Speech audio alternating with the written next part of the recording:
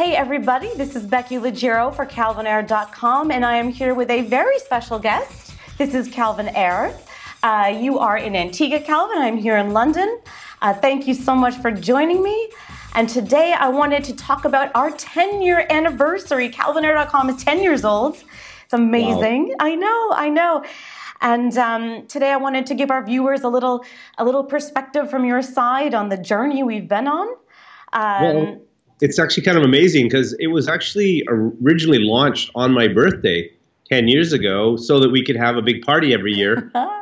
my birthday and celebrate uh, an, another anniversary of the site. But I got so distracted on so many things over the years that those kind of fell apart. And uh, now with the, uh, the, pandemic that we're all dealing with, we couldn't do one this year. But uh, maybe next year.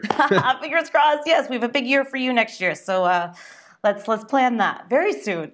Um, and I actually remember because I was a part of this 10 years ago why why you put this whole site together what your vision was behind it. So for those of you that, that, that the viewers that don't know could you summarize why you thought that the online gambling industry needed something like calvinayre.com 10 years ago?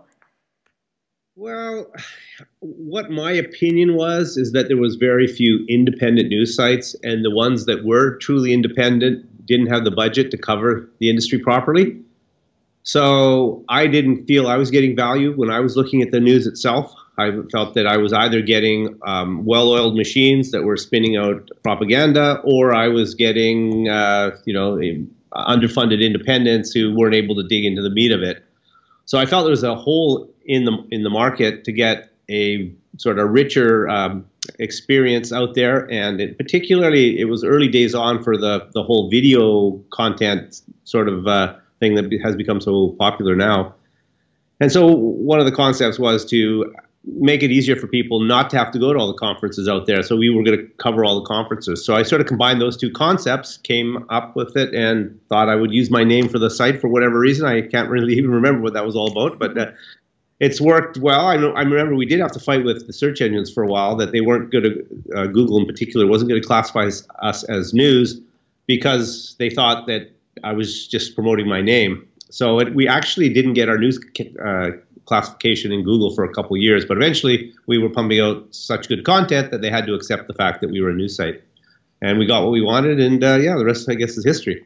Yeah, it totally is. And and when you launched the site back then, your your main focus was really on the online gambling and the gambling industry in general. But now, for anyone that follows you, we know that you have dedicated your life to Bitcoin SV, uh, to the growth of the Bitcoin SV ecosystem. You're also very much into wellness. Uh, investments, properties, all sorts of things today. So tell me how CalvinAyre.com fits into this portfolio of interests that you have. Well, I have a media company, so it's fairly easy for me to produce, and I also produce another media site, CoinGeek, which a lot of people know about as well. So producing the site is relatively easy, but I still think that there's that same market niche is available for for an honest site that covers uh, the conferences and events in depth, and uh, has sort of, I guess, my unique uh, opinions laced through through it. And uh, we still have a big following online, and uh, because of the history of it and and the, I guess the fact that I named it after myself, it still has a special place in my heart. So I have no intention of uh, shutting it down anytime soon. So uh, yeah, I'm still having fun with it, I guess you could say. And and really, honestly, I am upset that my plan is being thwarted by this pandemic about being able to have my birthday and anniversary parties at the same time. So you said it right. Next year will actually be my 60th birthday. So that'll be a big year for me. Uh, so I think we're going to have to do the 10th and 11th year anniversary party at the same time, layered in on top of my birthday next year, and hopefully the pandemic cooperates. Yes, yes, yes. Fingers crossed for that one. And actually, so now that we're talking about parties and uh, and fun things like that,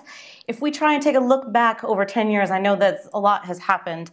Um, can you try to find an incredible memory that you have that ties into the CalvinAyre.com ecosystem um, that has happened in the past 10 years?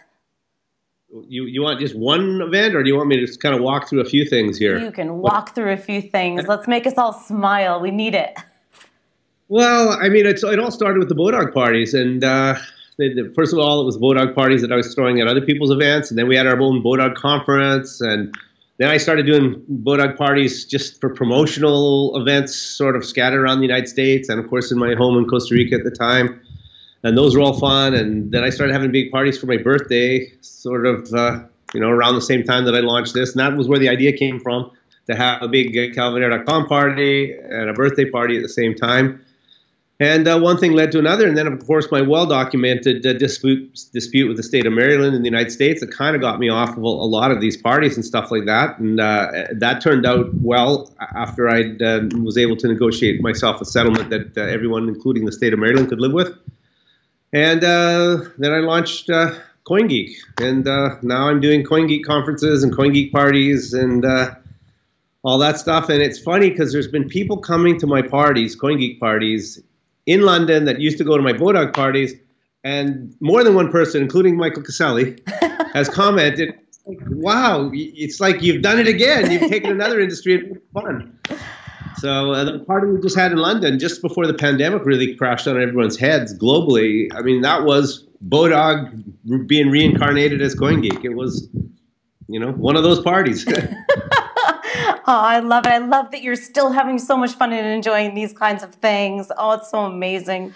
Uh, and, and, as we said before, Calvin, for all these people that, that follow your social and, and we keep seeing about Bitcoin SV and all of this, that people don't actually realize that the online gambling industry is still it's a part of your heart and your soul. And, and I know that you love it so much. So can you just explain to us why the online gambling industry will always remain incredibly special to you, even if you don't talk about it every single day?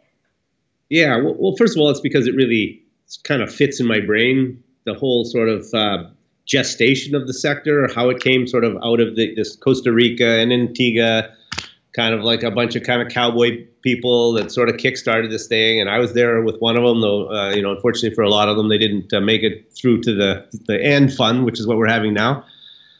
So it, it just kind of fit me like, like a glove right from the earliest days. And now, just because I've been in it so long and I've got so many friends scattered around the industry still. And I mean, I was just talking to Ruth Parasol, if you can believe it, on social media just a couple days ago. She was off on a boat somewhere, quarantining herself uh, offshore here so uh, yeah, it's it's just such a big part of my life. If you look at the number of years I was involved in it, that I just can't imagine life without having some connection back to uh, the gaming community. And now I have that with CalvinAyre.com, as I said before. But I've said this before to you, and I'll say it again, sort of for the uh, benefit of everybody watching. I believe that my new project, BSV, is actually going to eat the gaming industry, and all the entire gaming industry will end up within 10 years. Everything online is going to be run in some way integrated into the BSV platform. So I think I'm merging back into gaming. love it. I love it. Yeah. And a lot of my interviews now, Calvin, they involve both industries as well. Um, you can see those on calvinayre.com, so don't miss them. And more importantly, Calvin, happy 10 year, happy birthday. and thank you so much for providing me with the best job in the whole entire world. thank you so much. Thank you yeah. so much. Party's going to be a little quieter this year, though, as you can imagine. Bring on 2021. and thank you guys so much for watching. This is Becky Liggero for CalvinAyre.com.